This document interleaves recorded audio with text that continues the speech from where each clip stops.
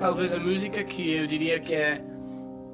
Uh, que tem mais influências jazz noir, digamos assim.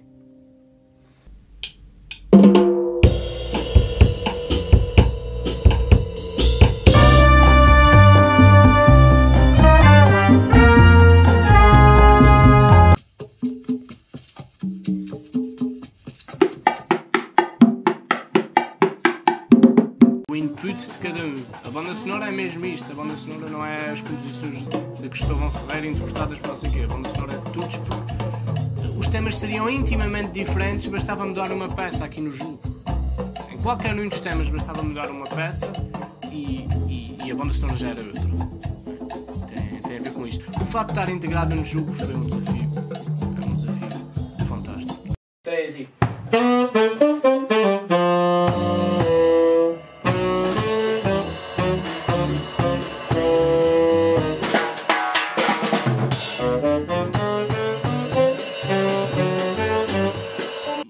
desafio que se pode, se pode pôr até um jogador é desligar o som.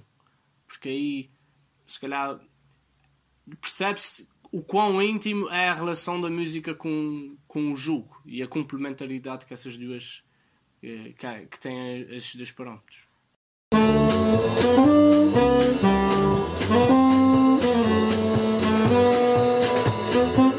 Há coisa que me dá mais prazer de poder participar em peças originais, não é? E nós temos trabalhado mais no nível de conceito de como aquilo poderia ser, não é? Porque, eh, de qualquer forma, eh, como está ligado ao jazz, também tem bastante improvisação e, e tem sido só uma questão de, de, de ligar as coisas, de falar acontecer, fazê-la acontecer o melhor possível.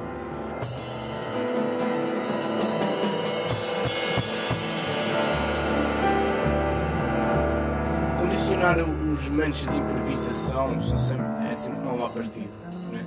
mas tu a única coisa que podes fazer e que efetivamente vai melhorar a música, não sei, enquanto produto final, é direcionar a improvisação.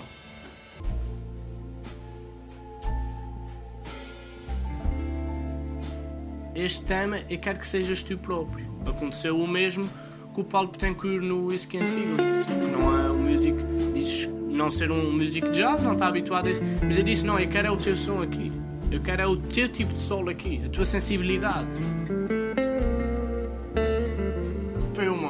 uma, viagem cooperativa, porque só com o esforço e com, uh, e, e, com o envolvimento de todos os que tiveram é que, é que foi possível.